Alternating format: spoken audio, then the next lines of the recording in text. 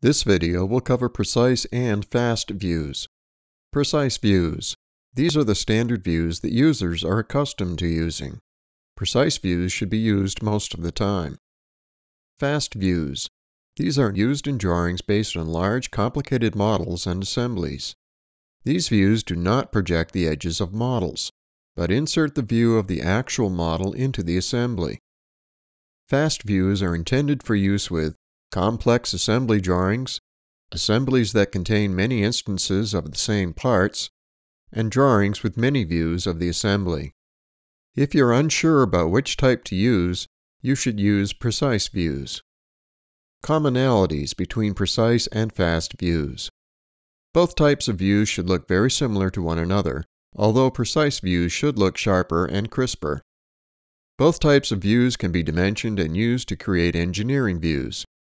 The more, fewer option allows the user to turn different options on or off before actually inserting the views into the drawing workspace.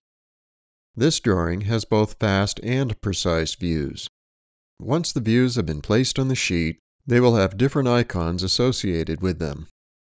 After the drawing has been saved, it is possible to change an individual view to the other type of view as shown here. View 2 has been changed from precise to fast while view 4 is changed from fast to precise. Differences between precise and fast views. There are advantages and disadvantages associated with both types of views. Precise views are the standard views that users are accustomed to using. Fast views, as the name indicates, should be faster to initially display and work with than precise views. For example, if it takes 15 seconds to place the views with precise views, it may take 10 seconds to place the same views with fast views. This is why fast views are intended for large assemblies that previously took an extremely long amount of time to work with. So assuming you do have a real need for fast views, what are the limitations? This is an example of a simple model that uses fast views and then the same model using precise views.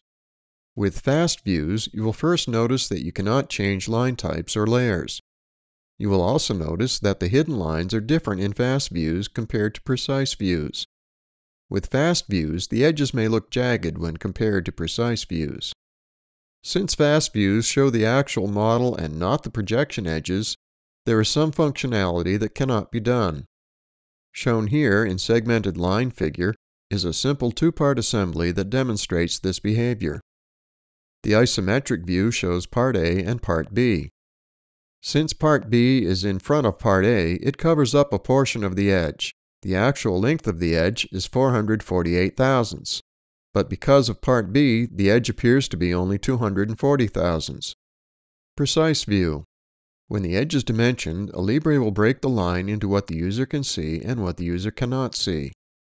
A section of the edge behind part B is not visible, so that section of the line is not shown. When the edge is dimensioned, since the edge is sectioned, the dimension will be for only the visible section of the edge. Blue dimensions will appear under a set of specific circumstances, particularly when a part is initially dimensioned in a precise view and then reprojected as a fast view, where that dimension refers to a line or edge that has been broken by another feature or part. Fast view. Since this view uses the actual model, the lines will not be sectioned. What is actually happening is that the edge will not be broken by part B, and when the edge is dimensioned, the entire length will be shown. So what would happen if that view were reprojected as a fast view? Since the view will display the model and the projected edges as with precise, the section line dimension will turn blue. This behavior lets the user know that the edge being dimensioned is different than the original dimensioned edge. When a drawing that contains fast views is open and that view is outdated, if the view is not updated, the view will not be shown. This is because since the view is outdated and the Alibre does not store the data for that view, the Alibre does not know what to show. If the outdated views are reprojected, the fast views will show correctly. Since the drawing uses the model's geometry to generate the view and does not project the edges, Fast views will not be exported to DWG or DXF file formats. If you do not have an adequate video card, you will not be able to utilize fast views. Any video card purchased within the last five years should be able to correctly display these views. However, if you do have an older video card that does not support fast views, verify that you have the proper version of DirectX installed, as well as the latest video card drivers installed. If you still have issues, this option will have to be manually switched from enabled to disabled. If your video card does not work with fast views, upgrading it to a newer model will be inexpensive, usually around 50 to $100. You will gain video performance because of the video display improvements in Alibre, as well as other video-intensive programs. Reproject outdated views. The Reproject tool will update the 2D drawing without having to close and reopen the drawing. It will work for parts, sheet metal parts, and assemblies. To use this tool, the drawing will initially need to be saved. And of course, the file that you want to reproject will also need to be saved, so the latest changes will be displayed in the drawing. If you have an assembly, and edit a part within the context of that assembly, when the assembly is saved, the 2D drawing will show the updated model and assembly.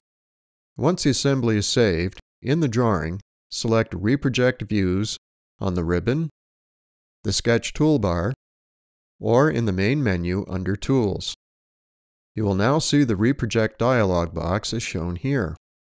When projecting the views, you can choose to show all of the views as fast, precise, or keep them all in the views they are currently in.